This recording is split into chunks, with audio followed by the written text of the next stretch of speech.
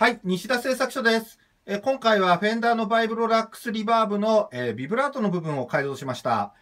え改造内容としては、えよりスピードをゆっくり、そして、えより intensity を深く、えーかかりを深くしたいということで、えーとまず、えースピードに関しては、えーと発振器の部分の方をちょっと変え変更しまして、より遅くなるように、今最大限、一番遅い状態です。にしてあります。えそして深さ、かかりの深さなんですけれども、オプトカプラーを使った方式から、えバイアスをシフトさせる方式に変更してあります。こちらはカスタムバイブロラックスリバーブや、あとはまあプリンストンリバーブで採用されている方式です。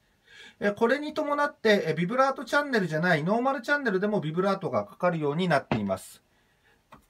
ちょっと入れ替えてみます。ノーマルチャンネルでもビブラートがかかります。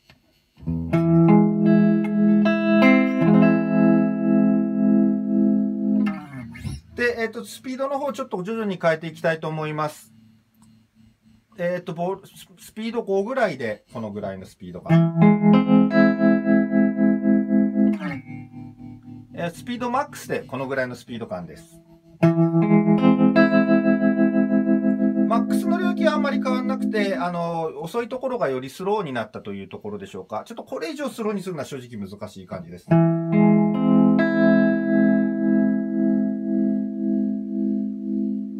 えご清聴ありがとうございました。